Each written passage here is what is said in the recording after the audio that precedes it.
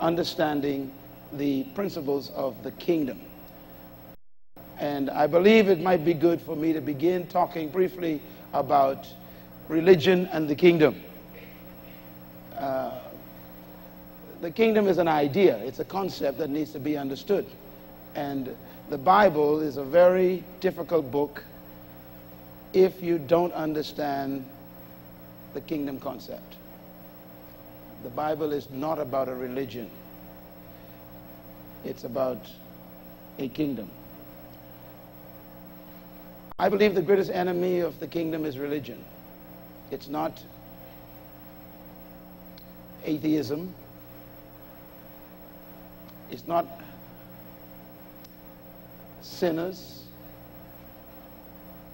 And the reason why the, the greatest enemy of religion, of the kingdom is religion, is because religion parades itself as a substitute for the kingdom. That makes it dangerous. If you believe you already have something, then you stop looking. That is the challenge of religion. So if you believe you found something, then you stop searching. And religion pretends that it provides what man's looking for. And somehow religion has convinced humanity that it has found what it's looking for. So humanity, even though it is not satisfied with religion, stops earnestly searching. Deep in their hearts, they know something's missing. They know that what they're involved in is empty. They are quite aware that the rituals are not satisfying their deepest yearning, but they've been convinced by religion that you've found what you're looking for. And the result of that is people back off and they say, well, I'll just endure this religion experience. Jesus came to earth to bring a kingdom and not a religion. God's redemptive work and his program was to restore his kingdom. Now, this statement up on the board at the moment is very important. What we've done is we have reduced God's program, which is a means to an end, to, to the purpose itself. God's ultimate goal was to re-establish his kingdom on earth, which is what Adam lost. But we have magnified the program and made it more important than the result. We've actually turned the process into the end. This is why Calvary is more important than the kingdom. I'm saying some heavy things here. That's why the blood is more important than dominion.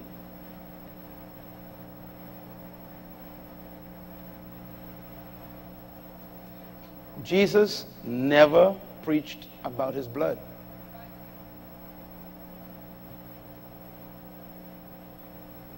Am I too bold? I really don't care. I want you to read the four Gospels for yourself. Every statement I am making has taken me 30 years to make them.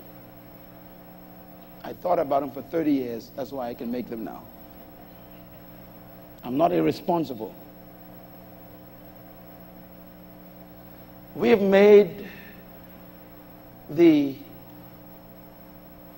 the process of redemption more important than the purpose for redemption. And that's why we have built a religion on the process and have, for the most part, ignored the purpose for it. This is why most of you are here today You are here today because somewhere you heard the kingdom message, at least a little piece of it, and you thought, I never heard of that before. And I've been saved for 40 years. See, you've been preoccupied with the process for 40 years. The kingdom is the purpose for that process. Very important.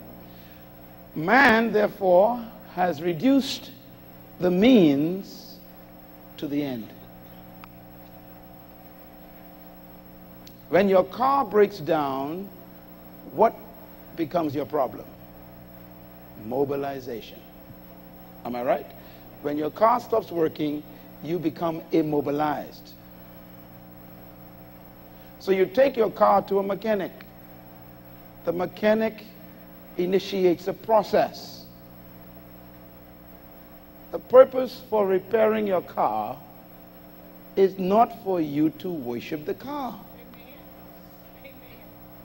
but to regain what the car used to provide for you, which is what? Mobilization. So you don't worship the mechanic. You don't sing songs about wrenches and batteries. You don't spend years thanking the mechanic for what he's done.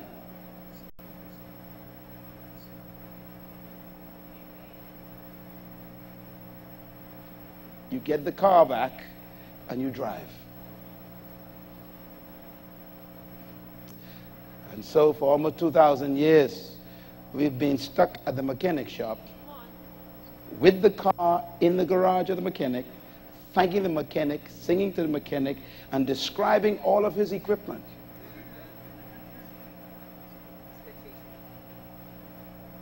And we've not been driving for 40 years, for 2,000 years.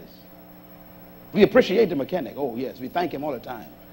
But we've not appropriated what he fixed.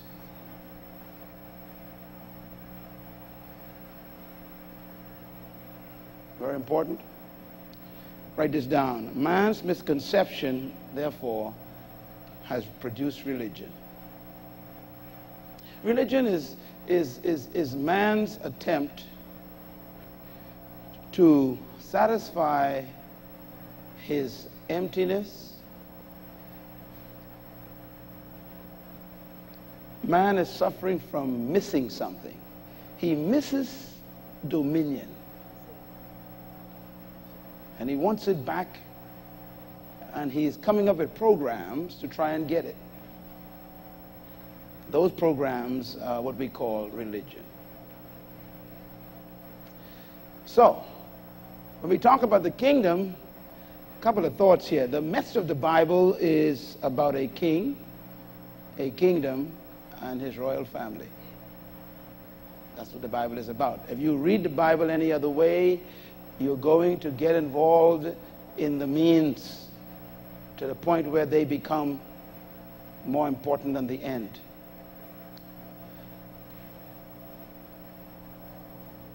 Every human being, 6.7 billion of them, are seeking for the same thing.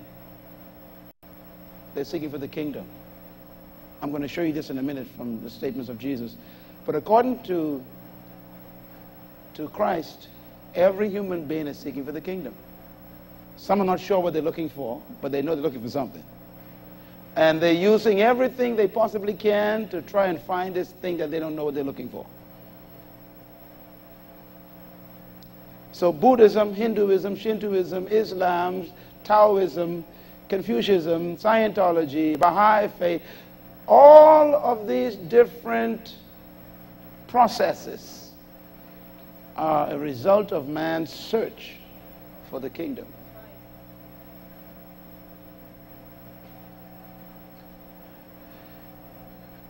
Therefore, all religions are man's attempt to find it. Jesus uses some statements about this. He said, he said, the kingdom of God is under pressure.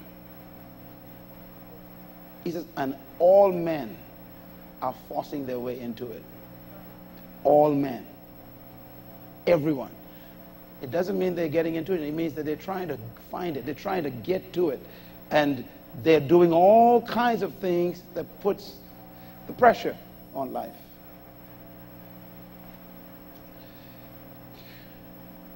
The mission of Jesus, simple mission. It was a kingdom message. He never preached anything else. That's all he preached. And it's very important to note that all true kingdoms contain the same qualities, characteristics, and components. Jesus Christ introduced the kingdom concept back to the earth. I want to stress, and in my newest book that will be coming out in a few weeks throughout the world, this book deals with some important issues to re-educate everyone who was born in the Western world about the kingdom, what a kingdom is. Because if you don't understand what a kingdom is, you, it's impossible to understand the Bible. As a matter of fact, I have come to the conclusion that the majority of the Western theologians are part of the problem that God has. Because they are literally experts in defection. There are defects in their theology because they study the Bible from their culture. And they bring to bear on their interpretation of the Bible their cultural experiences. Here you have a first class theologian in the top seminary in America who was born in America all his life never lived under a kingdom, have no idea about kingdom concepts, kingdom culture, kingdom protocol, and now he has to present the Bible to his students.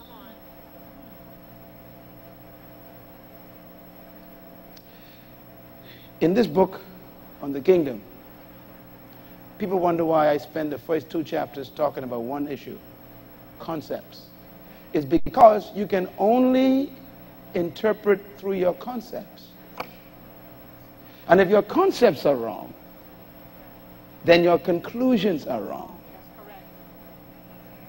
And this is why we need to deal with the very concept. What is a kingdom?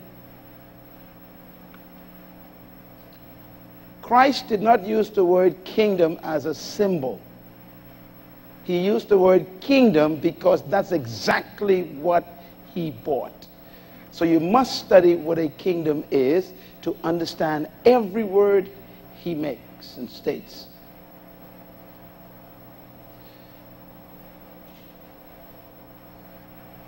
I stress for us to understand a kingdom, we have to look at these concepts and understand how they work. Now, I want to make it clear that a kingdom is not a religion. It's not a religion at all.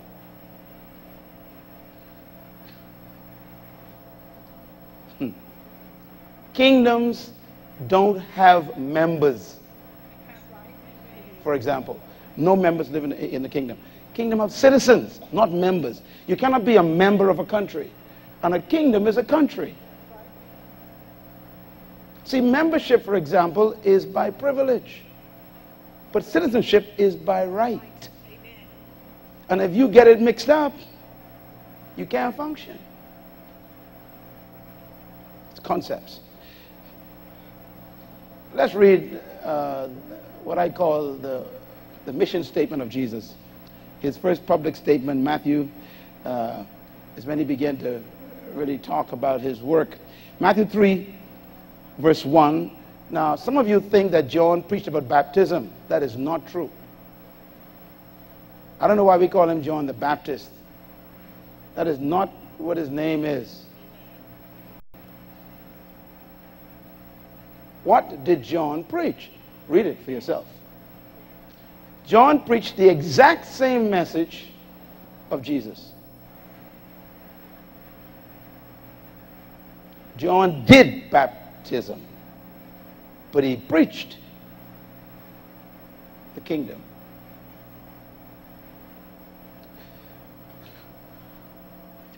I was born in this country in 1954, right here in this island. At that time, we were not a country. We were what they call a colony of a kingdom. We were under a queen and a king. I grew up most of my life under a queen and a king.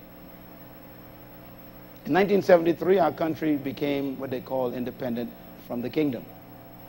We are still in the Commonwealth, but we were under a king all the way up to 1973. That's just 30 years ago or so. Okay? So we're a very young country. So most of my life was under a kingdom. And therefore, my cultural experience is closer to the Bible than most of you. Because the concepts under which I was born were kingdom concepts. Here's a concept, for example a king never shows up. It's called royal protocol. A king will never just show up. When a king is coming anywhere or going anywhere, it is required protocol for the king to send ahead of himself what they call a herald. It's his kingdom stuff. So a king can never just show up. They have to send someone ahead to prepare the people for royal arrival. When I was a boy and the King of England was coming to the Bahamas, or the Queen was coming to the Bahamas, we would get notice one year in advance as a colony. And we had to sweep the roads. Sweep the roads, I said. We had to clean our houses, even though chances are she will never come in your house. You see, you weren't sure whether she might decide to come through your corner. That's how it really was. So everyone cleaned their houses, sweep their yards, planted new flowers all along the streets. Why? Because the king is coming a year in advance.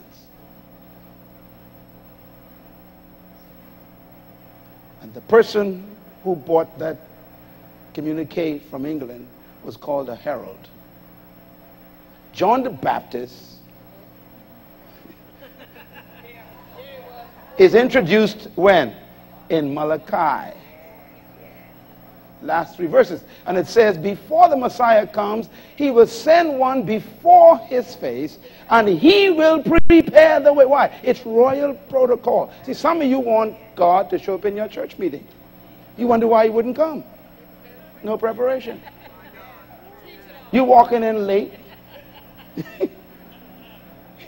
Sin in your life. God said, I, I ain't going there. So he sends the Holy Ghost ahead to try and get you to get your act together. You ignore the Holy Ghost. Meeting starts at 10, you come in at 10:20. Listen, if you ever miss an appointment with a royalty, it's over. Did you know that? It's over. They don't want to see you no more. It's royal protocol. So here's John the Baptist, and he comes to what? Announce the coming of the king. Let's read what he announces. John 3 1. In those days, John the Baptist came what? Preaching. Preaching means to announce or declare. It wasn't a sermon. you know, in the 16th century, 17th century, when kingdoms covered the whole earth, I mean, all over Europe were kingdoms. There was a kingdom, you know, Great Britain, France, Portugal, Spain. These were all kingdoms. And whenever a king was coming to a village, he would send a herald ahead of him, and the herald would go like two, three weeks before. He would walk through the village with this big parchment, and he'd say, Hear ye, hear ye, his royal highness is on the way. Prepare yourselves, hear ye. That was called preaching. Declaring announcing. John the Baptist is that herald. And he comes to planet Earth. That's the village, Earth. Village, Earth? Earth village? Got it? Yeah. The planet is a village. And the king is coming to visit the village to fix the village back. So he sends his herald ahead of him. And the herald says, What? Repent, for the kingdom of heaven is there.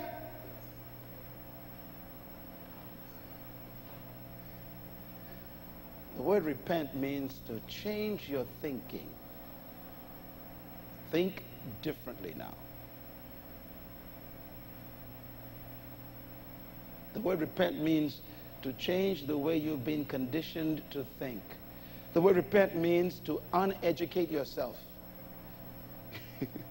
so you can be re educated. Because what's about to come does not sync with your education. Everything you've been taught is contrary to what you're about to see and hear. So change your thinking. That's the word repent. John the Baptist announces the coming of the king and his kingdom. By the way, uh, when you see the new book, get it. It's, it's going to be the most exciting experience for you. Because in the book, you know, I try to explain how kings are. There are about uh, 35 unique things about a king that you need to learn to understand Jesus. And you can't study a king by studying a president. Come on. and most of you were born under a president or a prime minister. A king is opposite to a prime minister and a president, completely opposite. For example, one thing about a king is this. Whenever a king shows up, the whole kingdom is present. He is his government.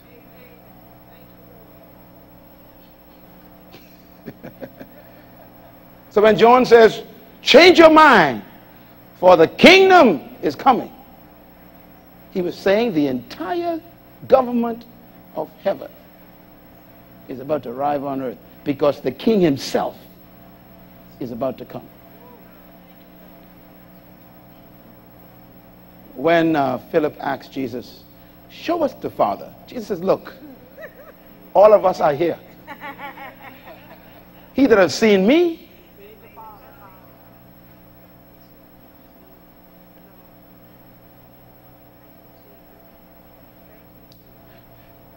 Now, in the next chapter, Jesus is introduced. Matthew 4 17. Read what he says. From that time forward, Jesus began to declare, announce, to preach, quote, Repent, for the kingdom of heaven has arrived. Uh, there's a word in your New King James or your King James Version which says, is at hand. That statement is an old English statement from the 17th century. It means has arrived. This is the unique announcement of Jesus. Repent, for the kingdom of heaven has arrived. Now, remember what a kingdom is? It's the government of a country. So he was not introducing a religion at all. He was bringing back to earth what Adam lost. And apparently, Adam did not lose a religion. If you want to know what man lost, study what Jesus brought to earth. Because he came to restore whatever man lost. And here he's announcing what he's bringing. He says, Change your mind because a government has arrived. The ruling influence of a king has returned to earth. This is the announcement of Jesus. I put it to you then. Look at Matthew. Matthew chapter 4, verse 23. I love this verse. And Jesus went throughout all Galilee, teaching in their synagogues, preaching the good news of what? The kingdom, and then healing every disease and sickness among the people. By the way, uh, it's important for you when you read the four Gospels again about his message and his method, you will notice that he normally preached the kingdom first and then he did miracles. In other words, he, he, he didn't do it the other way around. There's a reason. There's a reason. I'll give you the most important reason. A kingdom is the influence of a government in a territory. So if, if, if you tell someone a government's influence is in this city, a new government has arrived here today. Their first question prove it. So then he has to do some action. So he takes diseases of people, takes demons out of people. He gives them sight and hearing and whatever was wrong with them, he corrects it to, to confirm, reinforce, and to give evidence that the new government is present. Let me tell you another example. How do you know that the British kingdom was here? Just try drive here. Do you see what I'm saying? The evidence is you drive on the left hand side here because a kingdom was here.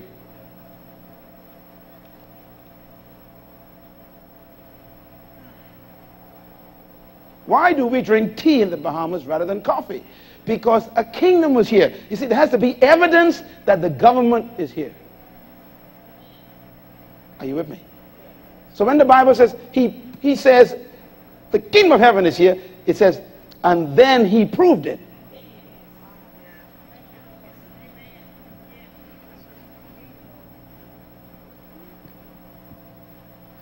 Very important. So, the principal message of the Bible then is threefold a king, a kingdom, and a royal family. Tell your neighbor, Amen. Okay, listen. You have royal genetics. Let me tell you something about kingdoms. You don't vote kings into power, and you don't vote their children into power.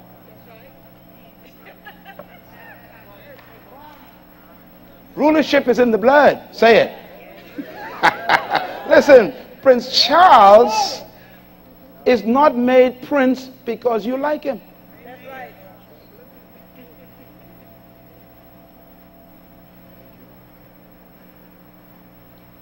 Rulership is passed on through genes.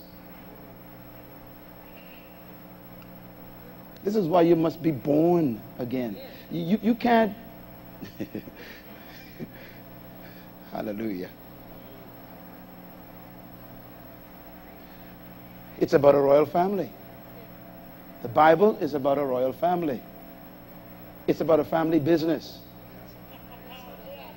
The family business is rulership. That's our family business. We are in the rulership business. And our daddy rules the whole universe. And he provided a little place for his kids to practice rulership called earth. And he put us there and told us, go ahead, kids, take over. Let me see how you learn from Papa. He, he gave us the genes. That's why you hate to be told what to do. You are wired to give commands, not to take them. Some of y'all don't look so humble on me. You know I'm talking the truth. You know, you, you, that's why you love to be in control of life.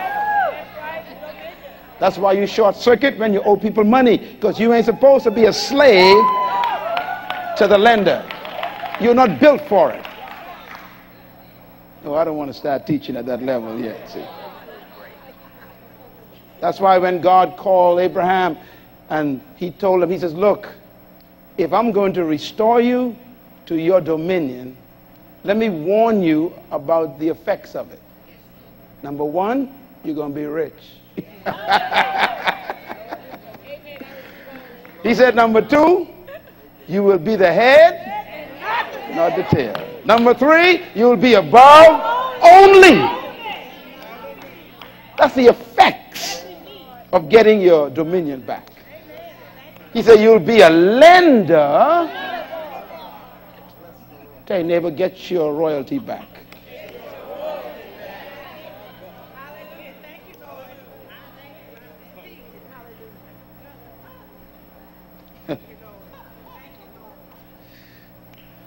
Here's a dilemma. I call it kingdom now, kingdom come. You know, a lot of people wondering, is, is the kingdom here? Is it, is it present now? Well, here's a couple of thoughts. We are citizens when? Right now. Citizens right now. We are in the kingdom when? Right now. We have access to kingdom power when? Right now. These are important statements. The kingdom will come to earth in its fullness when the king returns, but the kingdom is here now. Let me give you an example. If you are from another country here right now, you are in the Bahamas. But you are not a citizen of the Bahamas. But you're in the Bahamas. So your country is not from here. You are in the Bahamas, but not of the Bahamas. Now, you are not as rich as the country you are in. You are as rich as the country you are from. Yes, sir. Yes, sir. Yes, sir.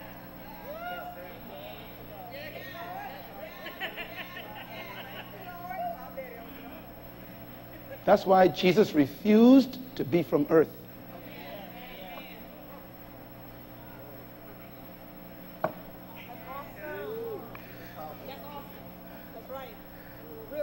If you claim that earth is your home, you are poor.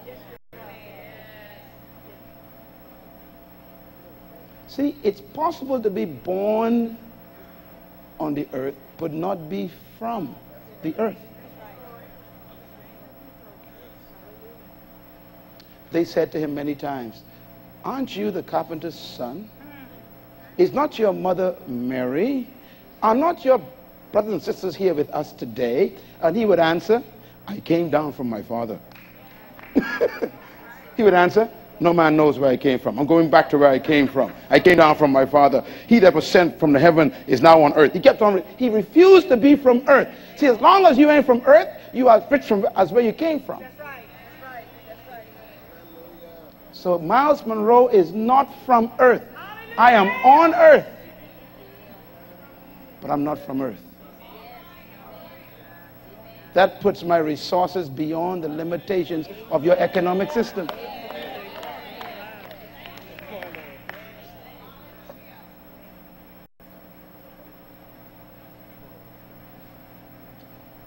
Very important. Write this down. The kingdom is growing and expanding when? Right now. I am a citizen of the Bahamas no matter where I go. I am always a citizen of the Bahamas no matter where I go. So it doesn't matter where you are, you are always a citizen of your country. So whether you are on earth or not, you are a citizen of the kingdom of heaven if you are in the kingdom of God. You don't need to go to heaven to be a citizen of the kingdom of heaven. That's the point I'm trying to make. So the kingdom is when? Now. I am a Bahamian now. Whether I'm in Africa or Asia or Canada or California, I am a Bahamian now. So wherever you are, you are that now. You are in that kingdom now. I am not going to be a Bahamian citizen. It's effective now.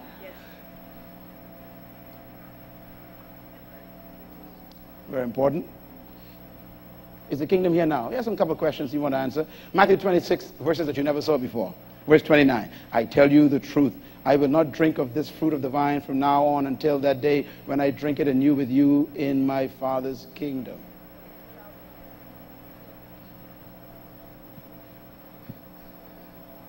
Let me ask you a question. Do you read the Bible? No, you don't. Here's a verse you never read.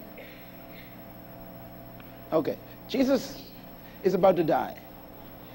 He has a few days left on earth, and he makes this statement. He says, Look, I'm going to leave you all in a few days. He said, But I'll make you a promise. I'll drink and eat with you again. So here he is at this supper on the front side of the cross. He says, Now, I will not eat with you again, read it, read it carefully, until what? Read the whole thing. and tell what?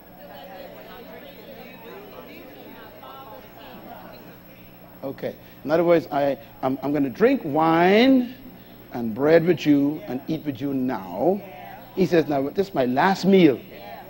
You and I will not eat and drink again until I am in the kingdom, when the kingdom is enforced. So he goes to the cross. Right after that, they kill him.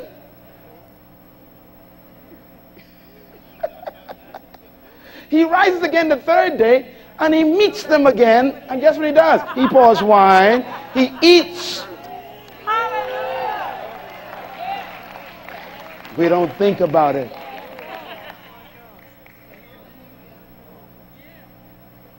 See, some of you thinking the marriage supper of the lamb, you know, in the last day. No, no, no. He said, look, I can eat this with you again. Whenever I eat with you again, we in the kingdom. Now, to explain that whole process, you got to understand how kingdoms work. He goes to the cross, he dies. I'm making this very fast because of time. He, he raises from the dead. Guess what he does? He goes to each one of them and he does something that we don't, we don't understand. He breathes on each one of them. And he says, receive, receive the Holy Spirit. Write the word receive down. I want to show you something to change your life. Receive. Say it. Receive. Now write it again, but this time take away the prefix. Press. Come on, right? R-E. That's the prefix. Remember, a prefix is not a word, right? It's a grammatical stem added to a word to change the meaning of it. Okay. Now, what does re means? Re means to go back to the original state. So when you take away the word prefix, I mean the prefix uh, re, you have what? So sieve is a word. We don't use it anymore.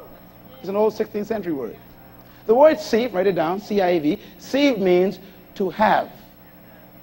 To have. Or to possess. Now, when you put re back in front of it, it means to possess again.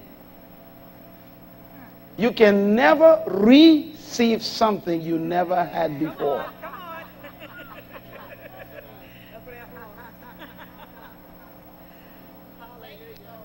So Jesus could not say, "Receive the Holy Spirit.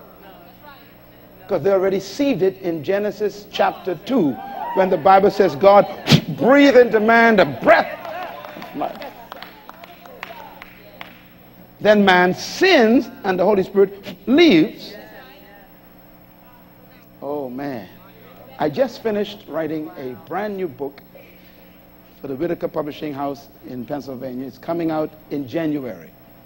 It's probably the most important book I have ever written on the Holy Spirit. The book is called The Most Important Person in the World. It's a long title. It's going to be on the New York uh, distribution list in January. The book is my attempt to explain who the Holy Spirit is. But let me just give you a glimpse, just one little snippet of it. In every time there's a kingdom, when there's a kingdom, all kingdoms like to extend their influence. So they like to go and get new territory. When they get new territory, they normally would colonize it. Colonize it means that they hook the territory up to the kingdom and then they send through that hookup everything that makes the territory just like the kingdom. Now, the person they use to convert the territory into the kingdom is a person they call the governor. If you drive downtown in the Bahamas, don't forget your visitors, please take a tour. Tell them to take you to the governor's mansion. There's a pink wall downtown with a big house behind it. It's called the governor's house. That house was always occupied by a white British man all my life until 1973. No Bahamian could live in there. Why? Because the governor that was put there for 250 years of colonization in the Bahamas had to come directly from the Queen of England, sent by her. He lived in the Bahamas. He was a British man who didn't speak our language, and his job was to make us British. And as long as he was in the colony, Britain was in the colony. Are you following me? See, the governor that you have in America is not, that's not the original concept of governor. Governor, see, Pilate was a governor. His job was to make Palestine just like Rome. That's why he says, when in Rome, do as Romans do. Wherever Rome is, you are in Rome.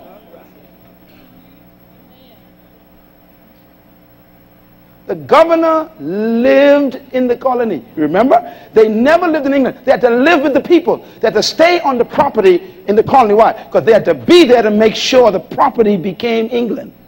It was the governor who had all the authority. He's the one who got the speech from the throne, they call it. He got the mind of the king or queen and made it clear to the citizens. And he made us understand what the king was thinking all the time. And he made us drive on the left hand. He made us wear suits in 90 degree weather. Because that's what the kingdom wore. He made us drink tea. He made us drive on the left. He made us wear short pants and long socks with tie. Why? That's the way the kingdom dressed. He made us eat chocolate with tea. He made us eat cucumber sandwiches. Yuck. It was British sandwich. In other words, he made us speak English. We lost our African language. His job was to give us the, the kingdom's language.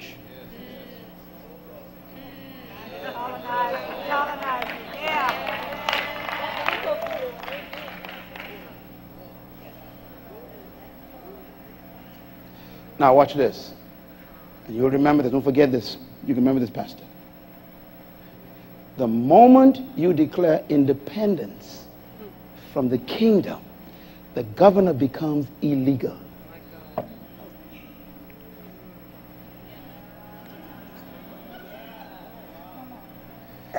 So he has to leave and go back to the kingdom.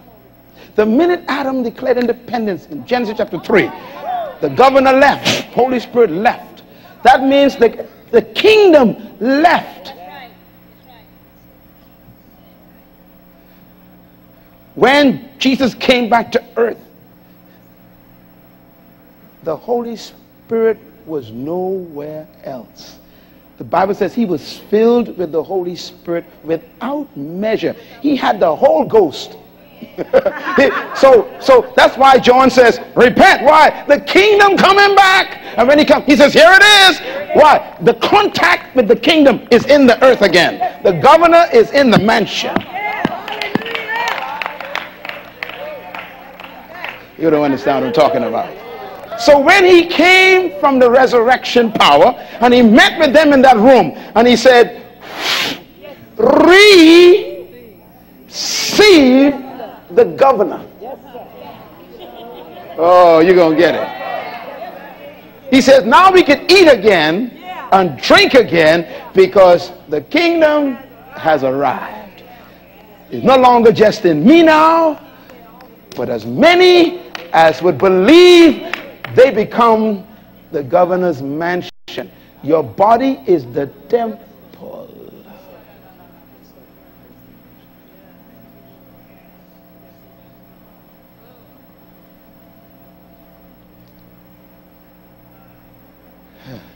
That's why he says the kingdom is not over there and over here.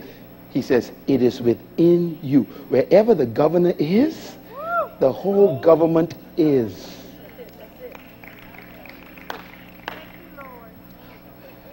Shatabusa. That's why I'm a dangerous man. We are about to build a big mall up there. It's going to cost millions of dollars. Because the governor told me very clearly that he wants us to occupy until the king comes. Now the governor is present, okay? So we got to occupy real estate. We got to occupy economic influence. We got to occupy political influence, education influence, scientific influence. We got to occupy influence because the governor is here to influence the territory. Oh, come on, somebody. Let me tell you something. Heaven is not supposed to look like earth. Earth is supposed to look like heaven. So he says, when you pray, pray like this Our Father, who is where? In the headquarters country. Holy is your name. Thy kingdom influence come. Thy will, what you want, be done. Where? In the colony. How? Like it is in heaven. Give him a hand for his program. He's a program of influence.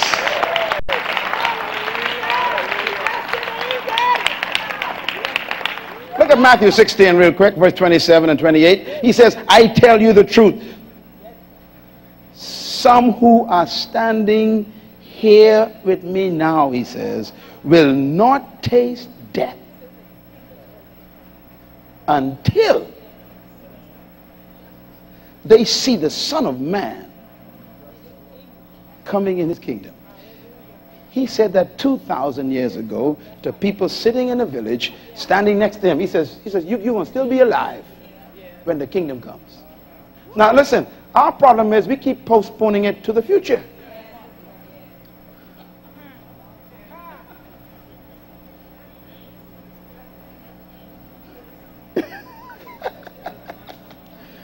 Either Jesus lied or the kingdom is here.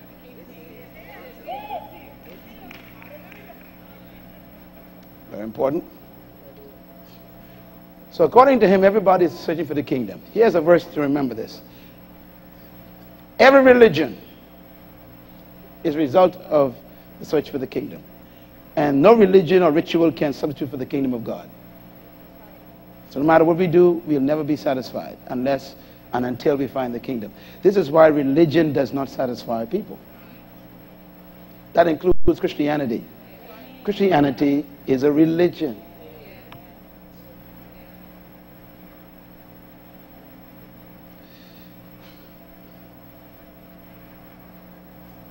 So the human spirit is looking for what it lost. It lost the kingdom. Here's something to remember then. Luke chapter 6.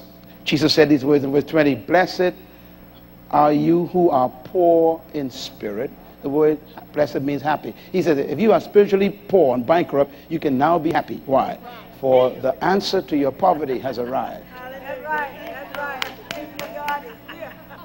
Blessed are those who are spiritually poor, spiritually empty, spiritually bankrupt. That includes six billion people all over the world. He says your spiritual hunger can only be fulfilled by the kingdom. This is why all of your years of Christianity, there's still an empty spot there.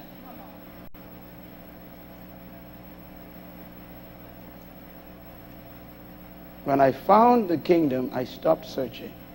I don't want anything else. Can you imagine that? There's, I don't want nothing else in life. Nothing else in life.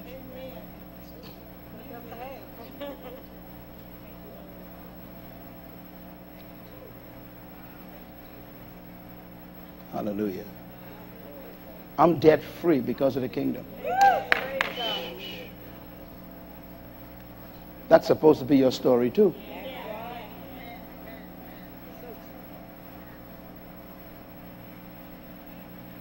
Hmm. You came here this week, and God is going to change your thinking. See, how do I explain this? And it starts with thinking. Repent. Thinking. If your concepts are wrong, your life is wrong. Because as a man thinketh, that's the man. This week, every session is going to be working on your thinking. To challenge your old thoughts. The ones that are not fruitful. You know they ain't fruitful. It ain't working. You tired, broke, and speaking in tongues and singing at the same time. You, you go to every service and can't pay your rent. I mean, this doesn't make sense to me. Your mortgage still on your shoulder after you are 60 years old and you, you never missed a choir meeting. Something's wrong with this. I mean, either, either God just loves to see you punished or something ain't working.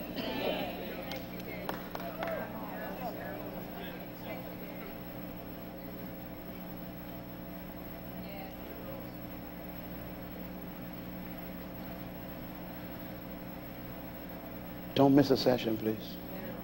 This is more important than everything you're doing, what I'm telling you. This conference, because if, you get this,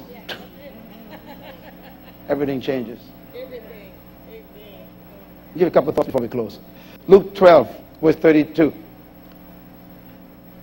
The kingdom means living under another government. Remember? The kingdom is a government. Luke 12, 32 says, Do not be afraid, little flock, for your Father has been pleased to give you what? The kingdom, not a religion. Verse 33.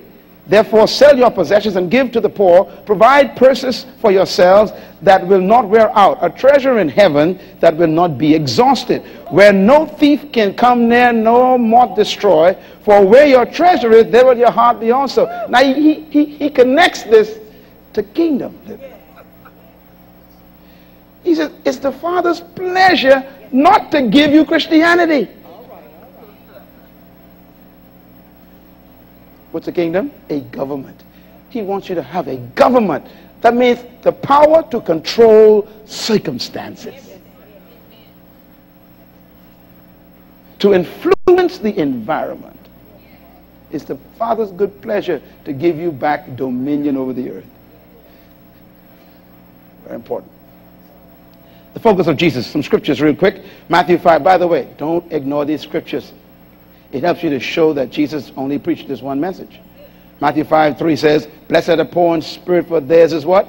The kingdom of heaven. Matthew 5, 20. For I tell you that unless your righteousness surpasses that of the Pharisees and the scribes of the law, you will certainly not enter what? The kingdom of heaven. In other words, he said the whole pursuit is to get into this kingdom.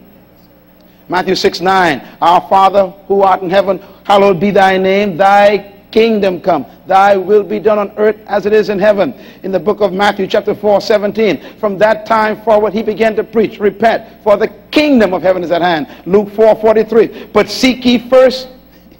I must preach. You have to seek the kingdom, the kingdom, the kingdom. He keeps on repeating it. Look at Luke 9, 2. It says, And he sent them out to preach the kingdom of God and to then heal the sick. Always to heal after you preach. Yeah? Very important. This is really the heart of Jesus. Look at these scriptures. You know, uh, the, the question I want to close with today is why did God choose a kingdom and not a republic for his system of government? Another question why did God choose a kingdom and not a democracy? Instead of a democracy, he chose a kingdom system. Thirdly, what is the benefits of being in a kingdom over and against being in a democracy or a republic? There's a big difference. Why is a kingdom better than a democracy? According to God, a kingdom is better than democracy because he chose the kingdom instead of democracy. And God always knows best. but the question is, why did he do that?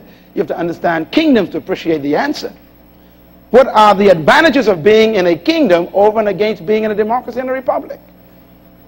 I'll tell you the difference. Heart attack, stress, high blood pressure, stroke. Because in a democracy, you got to fight to make a living.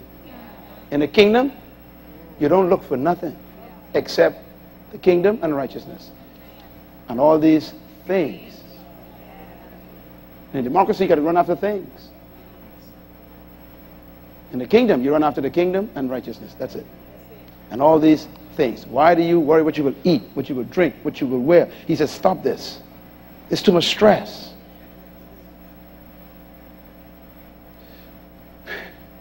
Christianity is killing more people than you could believe. Because Christianity makes you compete for blessings. It's stressful. Religion is hard work with very little benefit. Jesus said, Come unto me. And he was talking to those religious people under stress. All you are heavy laden. Let's get some rest. Come on, take my yoke upon you. He said, Man, this is too much stress for you. My yoke is easy. You're supposed to have a easy life. I'm not talking. I am telling you what I'm living.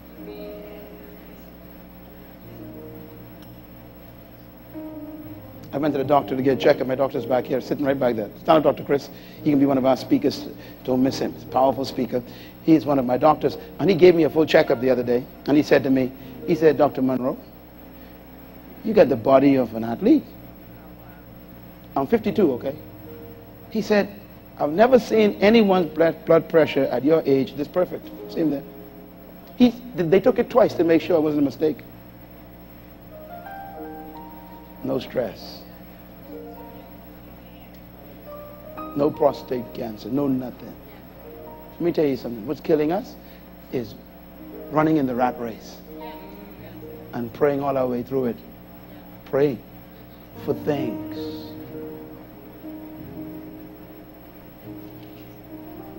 Why do you worry what you will eat, drink, and wear, how you will live? He said, Stop it.